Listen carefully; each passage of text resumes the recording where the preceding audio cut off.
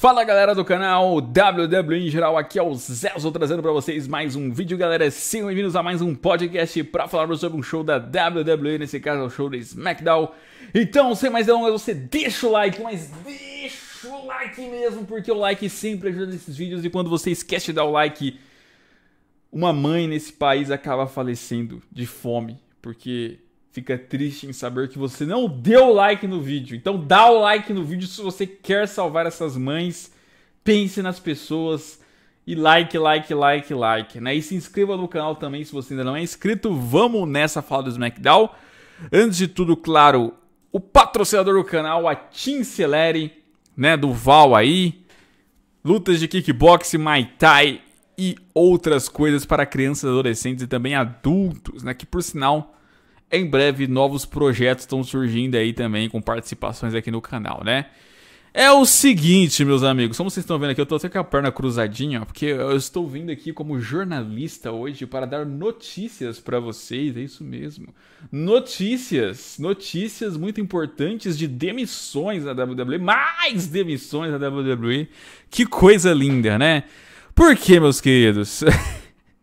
Não acabou ainda, né? É o que? A quarta onda já esse ano. Quarta onda de demissões, terceira, sei lá que, qual, qual número tá, né?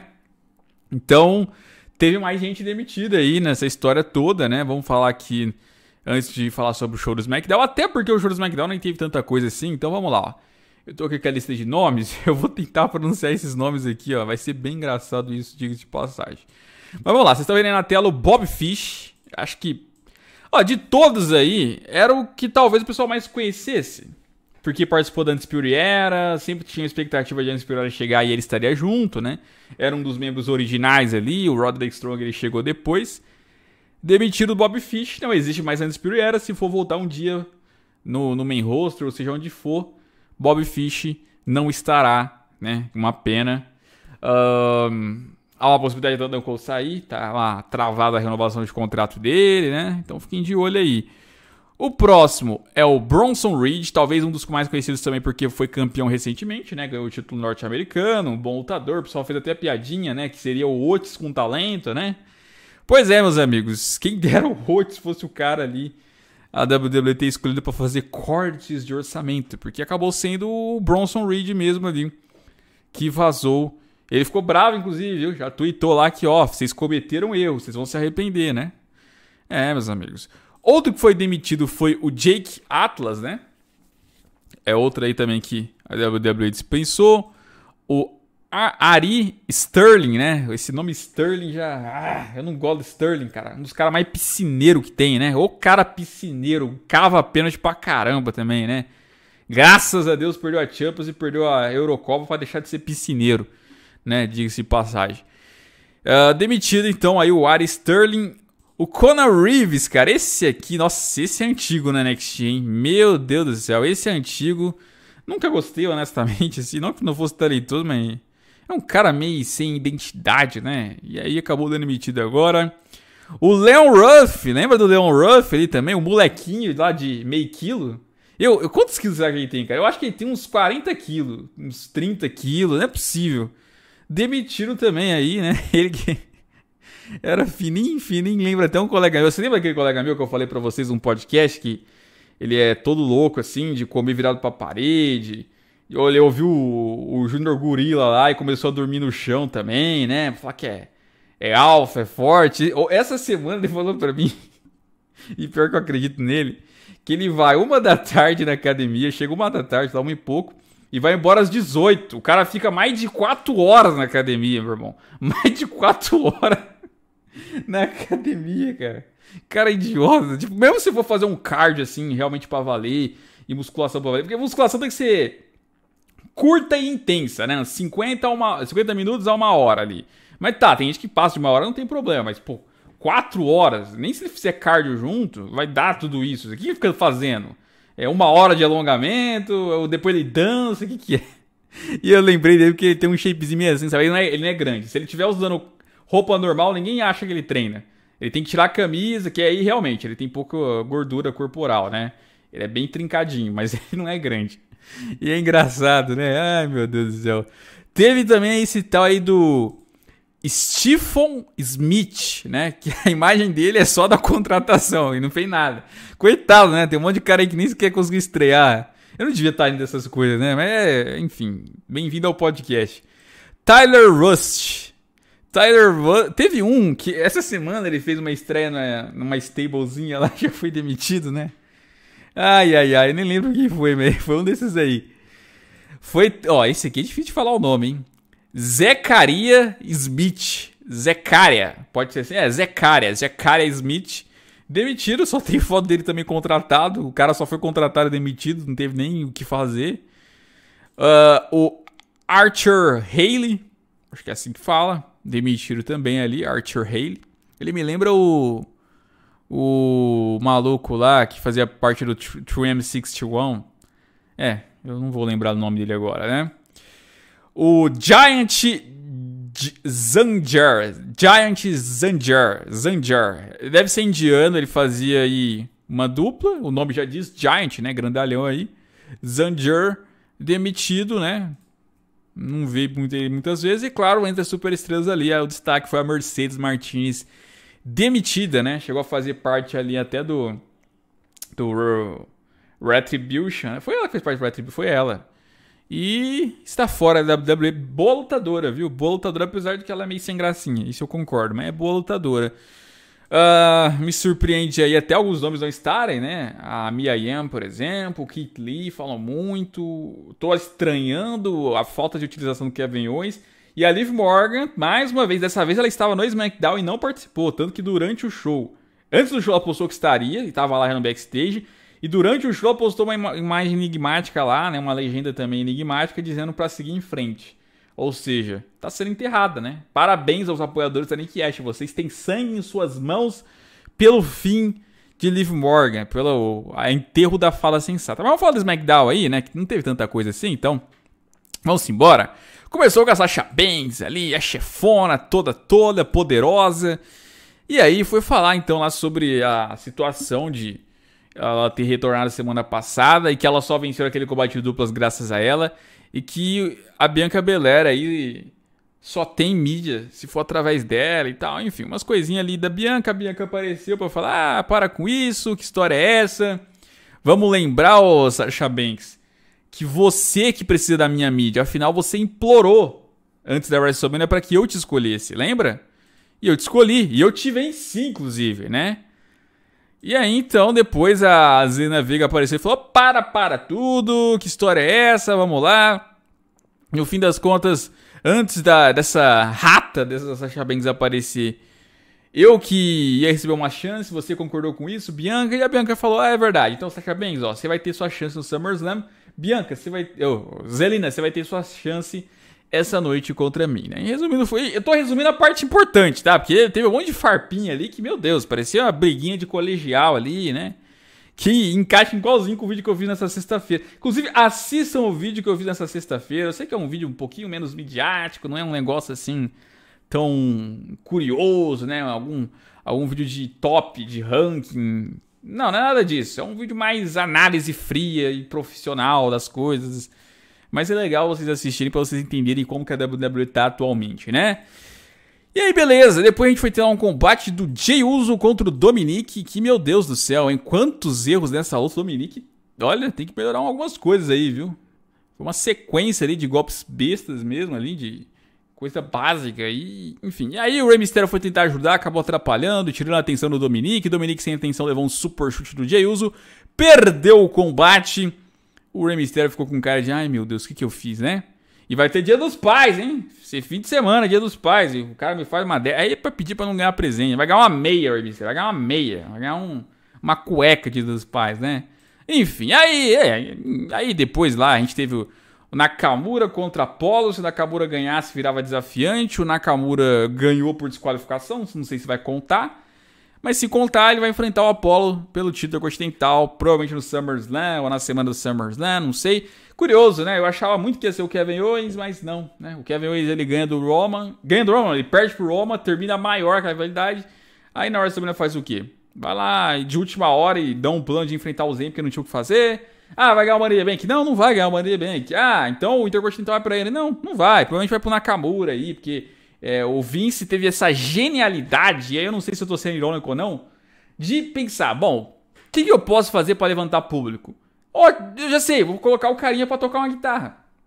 Pega a theme song do Nakamura, que o gado na arena fica cantando, e gosta do cara por causa da theme song, porque esse é um caso clássico do, do pessoal que gosta do cara por causa de uma theme song, que não tem mais nada. O que, que o Nakamura tem? Não tem nada. Ele tem a theme song. E aí bota lá um idiota lá para ficar tocando a guitarrinha. Pronto, o público vai adorar e é simples, é básico, mastigado, o público vai entender, não vai precisar pensar muito, vai agir como se fosse num circo, igual eu falei no vídeo de sexta, né? E é isso, né? E aí, foda-se o Kevin Owens lá, o, o Cesaro. Eu falei para vocês ainda que Cesaro era só para renovar contrato, né? No final, ó o Cesaro, ó. Talvez nem participe do SummerSlam, né? Vamos fazer o quê? Vamos dar pra expor uma cabura, né? É, de novo. Ainda teve o Big E lá dando uma ameaça ao, ao Paul com a camisa do New Day, né? É o que eu falo. Eu tô tentando dar uma chance pro Big E. Big E, você tem conserto, você é bom. Mas você não vai largar o New Day. Eu sei que você não vai largar o New Day. Você, você não adianta. Deu entrevista recentemente falando: ah, eu vou. Eu vou voltar pro New Day depois. Minha carreira não vai ficar solo para sempre, não. Temos muitas coisas ainda para fazer. O que, que você tem para fazer no New Day, Big? Que muitas coisas é essa? Ganhar um título de duplas? Nossa, eu nunca vi isso antes, hein? Ganharam já qual? Mais de 10 vezes? Eu nunca vi isso. Nossa, muitas coisas. Ganhou do SmackDown, ganhou do Raw, ganhou quando não tinha nem Raw e SmackDown, era só um. Bateu o recorde de maior reinado, tá batendo o recorde de maior número de títulos do New Day. O New Day continua sem você, mas você tem que voltar para fazer mais o que, meu filho? O que, que mais o New Day tem que fazer? Já enfrentou Shield, já enfrentou Whitefield, já fez tudo. O New Day já fez tudo que tinha pra fazer. E ele acha ainda que tem mais coisa. E não larga do New Day nem quando o New Day tá com ele. Aí não dá, né, cara? Aí não dá. Esse cara vai ganhar do Roman Reigns? Sério, ele vai fazer o catch no Roman? Essa aberração. Não dá, velho. Não dá. Eu tento olhar do lado bom, Big E. É. E não tem nem mid ainda por cima. Pelo menos no Brasil não tem. É, Big E Leão de Judá. Hoje eu acordei animado pra ver o Big E. O Big E na motivação. Ah, cara, não dá. E aí, enfim, aí depois teve lá a Tegan Nox enfrentando a Tamina, aí a Shotzi deu um tiro de tanque de guerra ali na Tamina, desconcertou ela da luta, que levou um rolamento ali bem picante, diga-se de passagem, ainda mais vindo da Tegan Nox que curte essa fruta, né? e ganharam ali o Kubai, ganharam entre aspas, né? Ganhou ali a Tegan Nox da Tamina, ok. Uh, e depois o Ed, finalmente, para começar o show, porque parecia mais uma quarta hora do Raw até então, né? O Ed apareceu ali para falar sobre os acontecimentos da semana passada, do Seth Rollins ter atacado, né? E falando sobre a situação do Seth Rollins achar que realmente ali pode ser como ele, né? Pode ser esperto como ele, de atacar pelas costas, de atacar com a câmera, né? Mas no fim das contas, o Seth Rollins é, não tem coragem de fazer igual ele e olhar cara a cara como ele fez com o Seth Rollins já.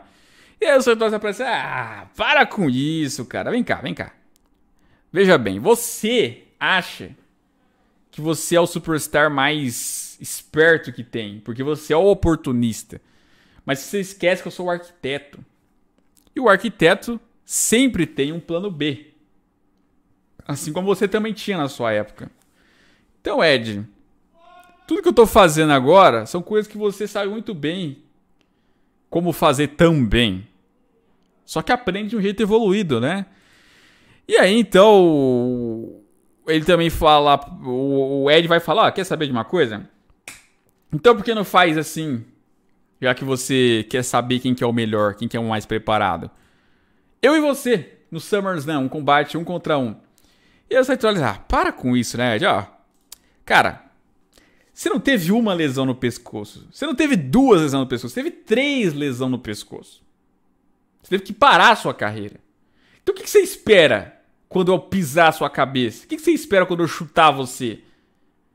O que, que sua família vai achar quando sua carreira chegar ao fim de novo? Quando você tiver que parar de novo? Né? Quando acontecer algo pior com você. E aí o Ed ficou puto, falou: Não, não fala da minha família. Você não fala da minha família, não fala do meu lado pessoal. E aí quando ele percebeu que o Seth Rollins estava entrando no emocional dele, ele também tentou entrar no emocional do Seth Rollins. E como que você atinge o emocional do Seth Rollins? Simples, você ataca o ego dele. Então vai falar, você, Seth Rollins, você ainda não superou o fato de eu ter te eliminado no Royal Rumble desse ano. Eu tirei sua chance de ir pra WrestleMania. Eu derrotei você lá. Você fica falando de 2014 que você não deu um basta em mim, mas é que você não tem coragem, você não conseguiu fazer isso. E você fala assim, ah, para, isso aí não vai me atingir, não vai me atingir. Aí ele vem algo maior. E não adianta. Você não quer citar essa luta porque você sabe que caso você seja derrotado, você sempre vai ser lembrado como uma cópia de Ed, um Ed mal feito, né? Um plágio. E aí você fala, eu não sou plágio, eu não sou plágio. Eu sou muito melhor que você e tal, mas quer saber? Quer saber? Você quer um combate? Eu aceito, né? Então, atacou o ego dele, né? Começou a falar do plano dele ali. E isso aí irrita, né? Isso aí desses caras meio malucos é você falar que, ah, você não é tudo isso. Ah, você tá copiando. Ah, você não, você não é de nada, né? O cara, não, como assim eu não sou de nada? Não, como assim eu não sou bom? Como assim eu sou qual pessoa, né? E pegou então o Seth Rollins para ter esse desafio aceito. Então vamos ter o Seth Rollins e Edge no SummerSlam. Ah, que tudo junto com um combate 1 a 1 mesmo, primeira vez na história. É, meus amigos, uma outra dos sonhos que eu sempre tive vai ser real agora, né? Quem diria, né? Eu não diria anos atrás, porque o Ed estava aposentado, lesionado. Mas é isso aí. E aí? Vocês esperam disso, né? Vocês fariam alguma explosão? Eu gostaria que fosse melhor de dois ou três, uma Iron Man também seria legal, no Rose Boros seria legal. Chairs Match, né? Porque cadeira entre eles tem história longa, hein? Os dois, em termos de cadeira, tem história longa. Mas, como eu acho que talvez não seja a única luta que eles terão, na próxima talvez uma exploração. Por enquanto vou deixar normal, né? Mas legal que tá anunciado aí, vamos esperar a próxima semana. Aí eu dou meus palpites. Que sabe eu defino uma torcida. A verdade é que eu não é que eu tô em cima do muro, eu realmente não sei pra quem torcer, cara. Acho que as duas opções vencendo seria legal, assim, a curto prazo, longo prazo, em termos de gosto, né? Enfim. Agora, essa discussão aí de quem é de, de o Seth Rollins ser uma cópia do Ed ou não, ser melhor ou não, eu acho que o Ed é melhor que ele, né? Assim, a história fala assim, fala por isso. O Ed é um melhor comunicador, né? É, é que também a carreira do Seth Rollins está em curso. A do Ed, ela, ela estava, teve que parar por lesão, isso prejudicou também, senão ele poderia ser até maior eu, eu até vou dizer algo bem louco aqui, ou, não, ou nem tanto. Se o Ed não tivesse parado em 2011 pela lesão, hoje eu acho que ele seria maior que o Randy Orton, por exemplo, na carreira, assim, em termos de conquistas. Porque o caminho estava sendo mais ou menos esse, né? E, enfim, mas é, se prejudicou. O Seth Rollins está em curso a carreira dele também, né? Está em andamento. Ele é mais jovem, pode ser que ele ultrapasse em algum momento, mas hoje o Ed ainda é, é melhor, é maior aí que o Seth Rollins, isso sem dúvida. Uh, o Seth Rollins teve defeitos de booking, aí a mudança de personagem dele constante. Por exemplo, o personagem de hoje não tem nada a ver com o Ed, o dele de hoje. O antigo até vai, mas o de hoje parece mais um Chris Jericho 2011, 12, meio debochadão assim e tal, enfim. Bom, aí teve também lá o Street Profits ganhando do Ziggler e do Rude. É, e aí chegou o momento do combate também da Bianca Belair da Zelina Vega. A Sasha Banks até apareceu no meio dessa luta aí pra tentar tirar a distração da Bianca Belair. O combate não foi ruim não, uma boa apresentação até. A Zelina Vega é uma boa lutadora. Mas vitória da Bianca, acredito eu que foi a última defesa dela, né? A última vez aí que ela defendeu com sucesso. Acho que Sasha Banks ganha no SummerSlam e bota fim nesse reinado da Bianca Belair que, né, não fez nada demais nesse reinado, vamos falar a verdade, né? Demos oportunidade, né? Ah, vai ser campeã, talentosa, tava merecendo, ganhou na WrestleMania, era um resultado legal. Não foi um absurdo, mas teve todo esse tempo para fazer um reinado e até agora nada de muito interessante, nada, nenhuma promo tão marcante, nenhuma rivalidade marcante, nenhuma luta tão foda pra caramba, né? Diferente dessa Chabanks fez um ano de 2020 muito bom. 2021 também estava indo bem, e aí deu a pausa. Agora eu acho que merece continuar, e aí quem sabe a Bianca Belair ganha depois, né? Bom, uh, depois a gente também teve lá o Finn Balor para ter um combate contra o nosso querido Baron Corbin, né? Que até pediu desculpa, só, pô, cara, desculpa, eu não queria ter feito aquilo semana passada, não sei o quê. O Finn Balor não quis nem saber, sem compaixão, o Cobra cai, foi pra cima ali do Corbin, e aí, meus amigos, deu nem graça. Foi um squash, né? Ganhou fácil ali do Corm mesmo.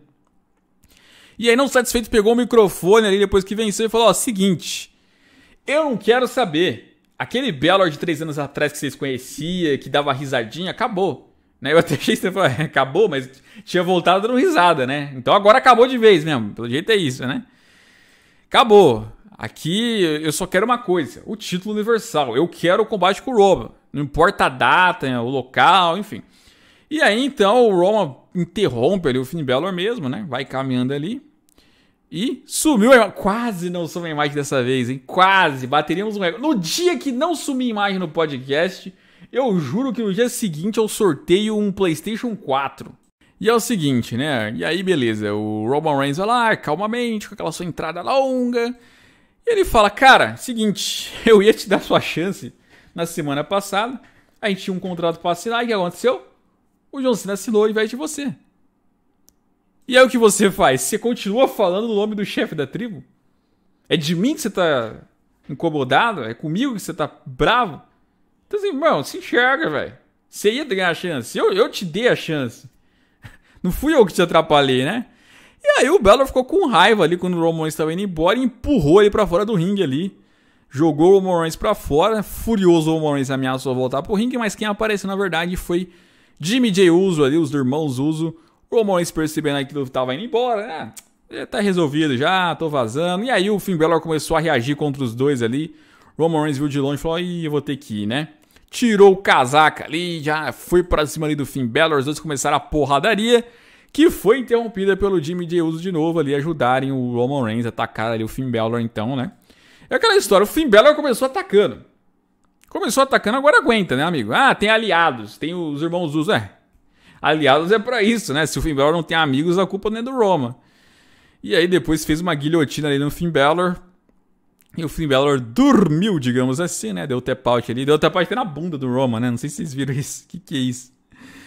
E é isso aí. A questão é, aonde eles querem chegar com isso? O John Cena estava presente, tá? Tanto que ele de uma Dark Match lá depois que o SmackDown acabou. É aquela história, estão querendo valorizar ingresso. Estão querendo valorizar ingresso, então, ah, você quer ver o Cena? Então paga o ingresso e vai lá ver o Cena, porque não é garantia que ele vai aparecer no show, não. É meio tosco. É, onde eles querem chegar com isso? O pessoal tá falando, será que vai ser combate triplo SummerSlam? Se for, meu Deus do céu, aí eu não sei. Eu vou ter que quebrar alguma coisa. Pense em alguma coisa pra eu quebrar. Eu vou quebrar alguma coisa no podcast que fazer combate triplo. Que não é possível que no SummerSlam, quando todo mundo tá louco pra ver John Cena e Roman Reigns, o que, que vai acontecer?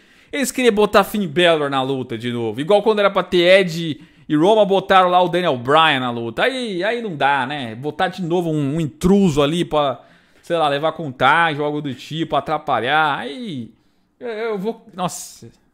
Não é possível. Eu, eu tô. Tomara que não. Tomara que, tomara que seja alguma coisa pro show semanal. Sei lá, semana que vem. Que tal? Semana que vem vai ter uma chance. O Roman Reigns vai dar uma chance pro Finn Balor. E os dois vão lutar lá, né? No SmackDown do dia 13. Ah, vai ser no SmackDown do dia 20. Eles vão ter uma última luta antes do SummerSlam lá, né? Ah, aí o Finn Balor vai intrometer no meio da luta do SummerSlam, vai fazer heel turn, vai atacar o Cena, vai, vai atacar o Roman depois do Roman vencer, o Big E vai fazer cash, eu não sei. Eu não sei, só não transforma em combate triplo, por favor, né? Talvez eles façam Cena contra Balor em algum show semanal pra definir o desafiante de vez, né? E aí o Cena ganha e pronto vira desafiante, de fato. Até possível poder ter uma luta no show semanal, porque só tá tendo em Dark Match, né? Enfim. Agora, tem uma crítica também, né? Eu, eu falei até no vídeo de sexta e vou repetir. Tá longe de ser a rivalidade que foi em 2017 no No Mercy. Os caras não se encaram.